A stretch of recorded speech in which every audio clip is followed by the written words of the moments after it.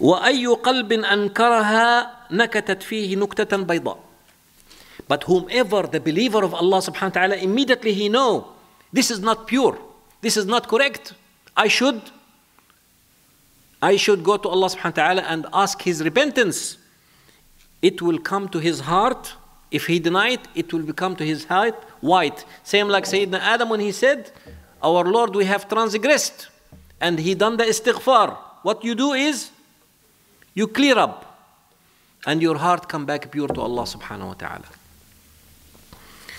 And then continue Muhammad sallallahu alaihi wasallam to tell us حتى تعود القلوب على قلبين قلب أسود مربادا كالكور محجبا until the hearts will become one of those two either a heart so filthy so so black so so un, uh, unhealthy so so strong so so hard like a rock لا يعرف معروفا ولا ينكر منكرا until this heart become nothing is haram nothing is bad everything is halal I can do anything إلا ما أشرب في هواه وقلب أبيض لا تضره فتنة ما دامت السماوات والأرض and the other heart that is the pure heart no fitna will come to him and he cannot fight it back I ask Allah subhanahu wa ta'ala to make us from those who knows the fitna and those who can stop the fitna and those who can uh, argue against the fitna and those who stay pure heart with Allah subhanahu wa ta'ala. Now, somebody will ask, you know, we are Muslim, we always come to the mosque, we do mistakes, small mistakes. But look at those people, make very big mistakes. They go gambling every night, they go clubbing every night, they go, you know, doing bad things every night, fornicating every night. Why Allah subhanahu wa ta'ala don't destroy them? They even have kufr, they don't have tawheed to Allah subhanahu wa ta'ala. Listen to this carefully from Uqba ibn Amir, one of the scholars of Islam. He said, إذا رأيت الله يمد العبد على معاصيه فاعلم أنه استدراج من الله. You should know if Allah keep giving the human. Keep giving him and he keep sinning. Allah keep giving him and he keep sinning. This is not a grace from allah. This is istidraj. Istidraj what means istidraj? Means you are coming your end is coming and your end is very very harsh.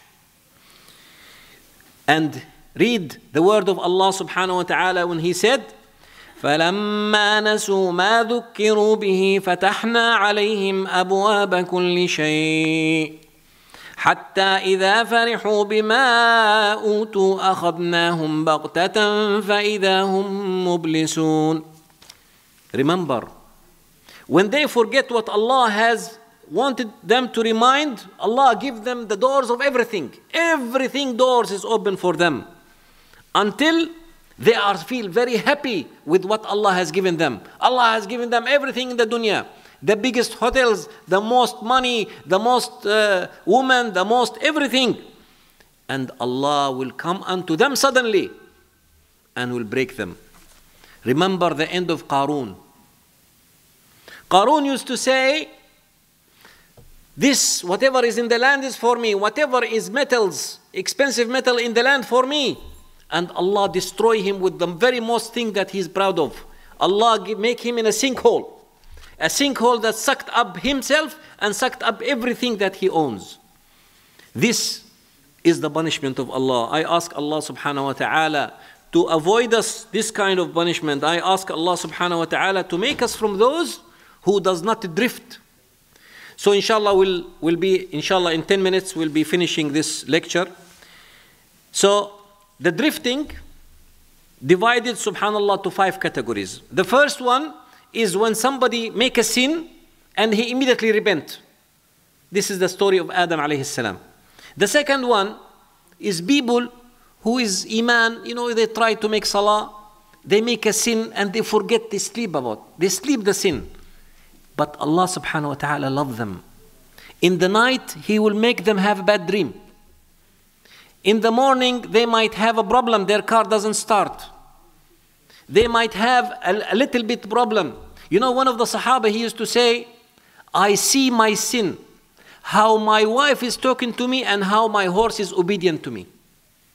Look, this is the mu'min, the believer of Allah subhanahu wa ta'ala. I see if I make a sin, how my wife talk to me and how my horse obey me. This is one of the groups that immediately repent after they see the sign of Allah. The third one is the people who drift, drift more. Allah give them the place, the business, the money, the house, and they drift, drift, and they make mistakes and they forget.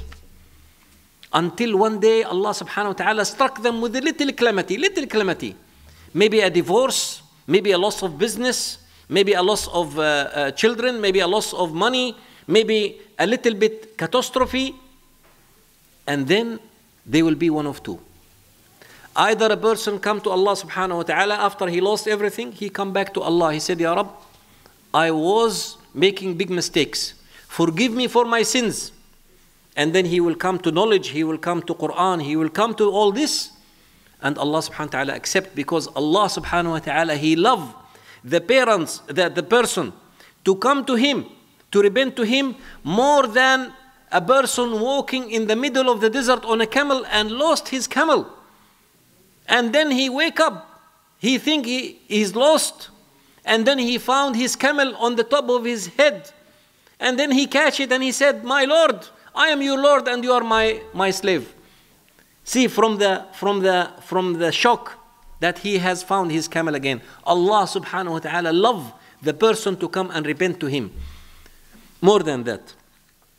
And there is another one, brother, which I ask Allah subhanahu wa ta'ala to avoid us. That is the drifting totally. Drifting totally until the person himself starts start preaching bad things. This is the persons who Allah subhanahu wa ta'ala they drift, drift, drift. And Allah give them disaster and catastrophe and they're still drifting, drifting. They all the way go out from Allah subhanahu wa ta'ala. Muhammad sallallahu alayhi wa sallam has told us in the hadith, كل أمتي معافى. This is hadith in صحيحين Bukhari ومسلم. من حديث أبي هريرة رضي الله عنه قال رسول الله صلى الله عليه وسلم كل أمتي معافى إلا المجاهرين Everybody in my ummah can be cured except those who make mujahara. Mujahara means what? Means yesterday. Look, look the pictures. Yesterday I was with this with this woman. Yesterday I was in that club. Yesterday I was doing this. Yesterday I was doing that. Preaching to the people that this is okay. This is the mujahirin. And Muhammad ﷺ tell us clearly, everybody in the ummah can be cured except those. وإن من المجاهرة أن يعمل عملا يبيت يستره ربه فيقوم يا فلان إني عملت البارحة كذا وكذا يبيت يستره ربه ويصبح يهتك ستر الله عليه.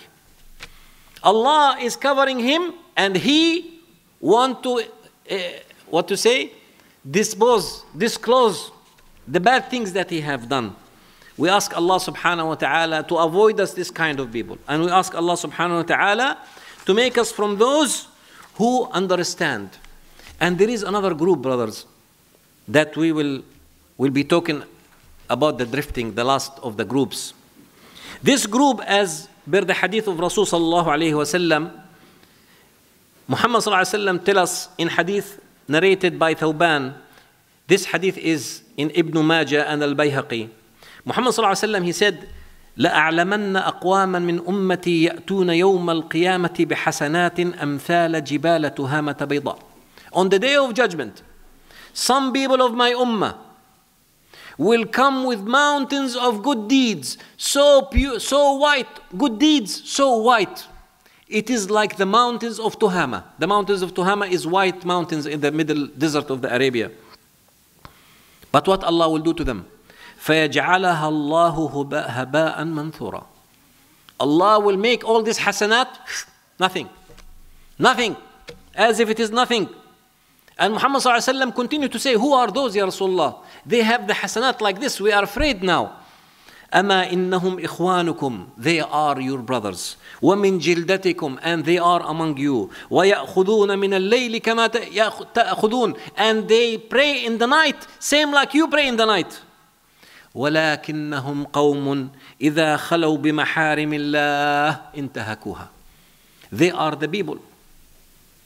If if they have the chance by themselves, they are by, my, by themselves, they, they will do bad, the bad things. They do all these things, but they cannot stop themselves from sinning towards Allah subhanahu wa ta'ala. I ask Allah subhanahu wa ta'ala to make us from those who repent all the time and who understand the sins of Allah subhanahu wa ta'ala. So, in the last, what I want to talk tonight, how we can get out from these sins, how we can get out from the bad circles. Brothers, I remind myself and I remind you to always say astaghfirullah. Say astaghfirullah day and night. When you are driving, when you are reading, say astaghfirullah as much as you can. Astaghfirullah to what I know and astaghfirullah to what I don't know.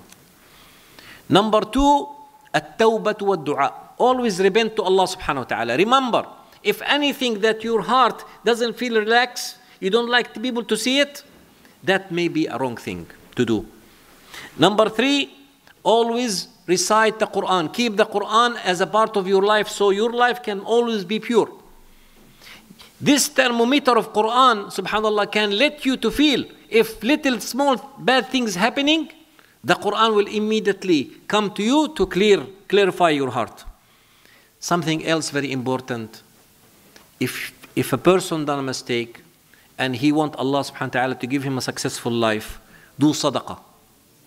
Sadaqah could be volunteering for the mosque. Sadaqah could be paying for the poor. Sadaqah could be sponsoring an orphan. All these sadaqat distinguish the anger of Allah subhanahu wa ta'ala. We ask Allah subhanahu wa ta'ala to distinguish the anger against us with Him. And remember what Allah subhanahu wa ta'ala said, said, said to us in Surah Al-Layl. فأما من أعطى